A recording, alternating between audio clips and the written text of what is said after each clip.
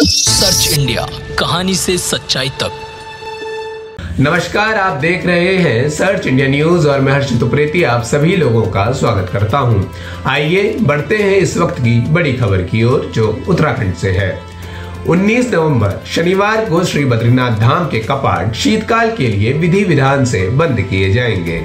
इसके लिए आज से बद्रीनाथ धाम में कपाट बंद होने की प्रक्रिया शुरू हो जाएगी। मंदिर परिसर में स्थित गणेश मंदिर के कपाट बंद होने के साथ ही बद्रीनाथ धाम के कपाट बंद होने की प्रक्रिया शुरू हो जाएगी।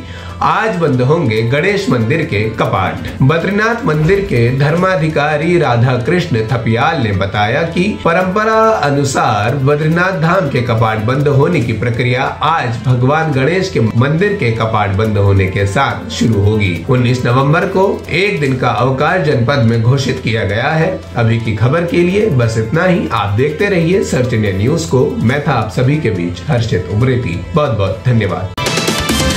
सर्च इंडिया कहानी से सच्चाई तक।